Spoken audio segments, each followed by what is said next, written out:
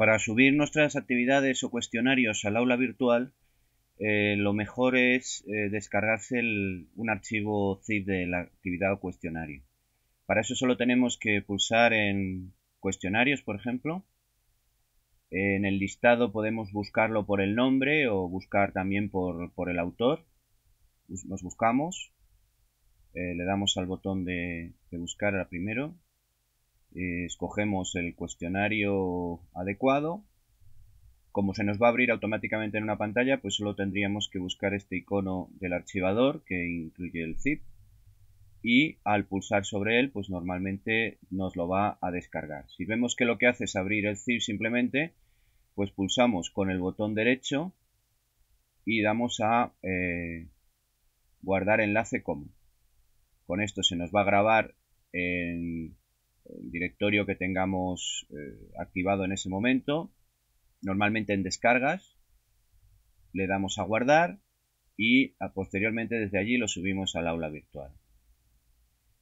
Eh, si vemos que el cuestionario tiene algún problema, lo que podemos hacer es simplemente volver a grabarlo. Recordad que para grabar el cuestionario hay que dar al icono que aparece en la parte superior derecha de la pantalla.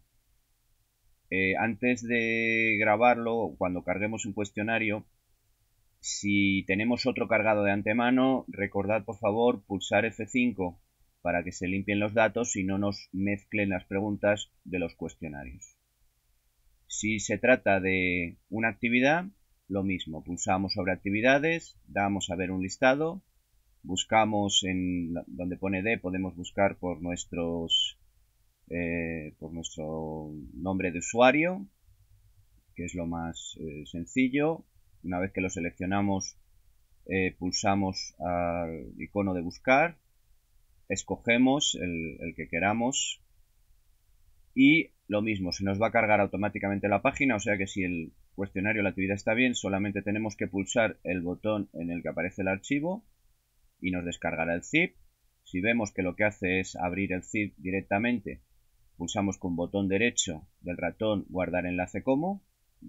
Si vemos que tiene alguna pega, pues volvemos a la pestaña donde se nos ha abierto el cuestionario, el, perdón, la actividad, modificamos lo que haga falta, pulsamos otra vez a grabar ¿eh? y ya está. ¿eh? Posteriormente, cuando tengamos la imagen, sí conviene pulsar F5 para observar que se nos ha grabado la última versión.